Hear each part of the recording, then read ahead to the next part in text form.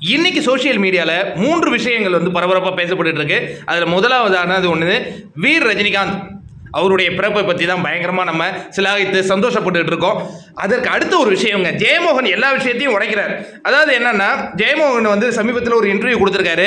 அதில் என்ன கேட்டிருக்காங்க அப்படின்னா பொன்னியின் செல்வன் இந்த இவ்வளோ பட்ஜெட்டில் பண்ணுறீங்களா அது ரிகவர் ஆகுமா? அப்படிங்கிற மாதிரிலாம் கேள்வி வரும்போது எங்களுக்கு அதுக்கு முன்னாடி வந்து ஒரு பெஞ்ச் மார்க் இருக்குது என்னன்னா two point two two point ஒரு பெரிய பட்ஜெட் படம் தான்.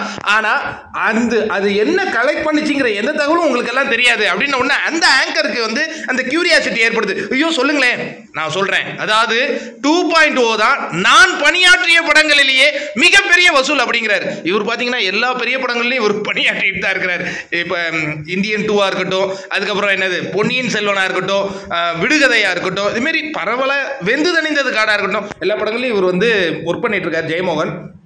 அவருக்கு கிளியராக தெரியும். அவர் சொல்கிறாருங்க அதாவது டூ பாயிண்ட் ஓ இன் வசூலை வந்து பொன்னியின் செல்வன் உடைக்குமான்னு நான் பார்க்குறேன். ஆனால் அந்த படம் வசூல் பண்ணது வேற லெவலில் பண்ணுச்சு அப்படின்னு சொல்கிறாரு அதனால இண்டஸ்ட்ரி ஹிட் அப்படின்னா அது வந்து டூ பாயிண்ட் ஓ தாங்க அப்படின்னு சொல்லி அந்த ஒரு விஷயத்துக்கு பதில் சொல்கிறாரு அதற்கு அடுத்ததாக இன்னொரு பரபரப்பாக பேசப்படு சத்யராஜே.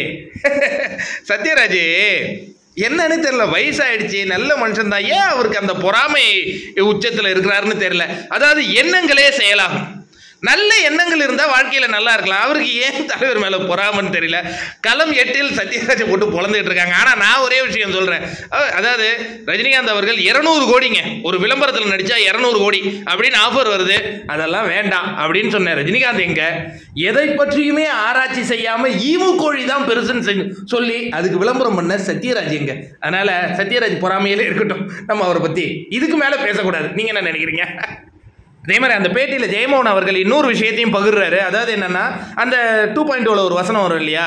நம்பர் நம்பர் ஒன் நம்பர் டூலாம் பாப்பா விளையாட்டு. I am the only one super one அப்படின்னு சொல்றாரு இல்லையா? அந்த வசனத்தை பேசுறதுக்கு ரஜினிகாந்த் அவர்களை விட்டால் வேற யாருங்க தகுதியானால் நீங்க காட்டுங்க அப்படின்னு நெறியாளரை பார்த்து அவர் கேட்டதெல்லாம் செமையான செய்க. உண்மைதானே அது?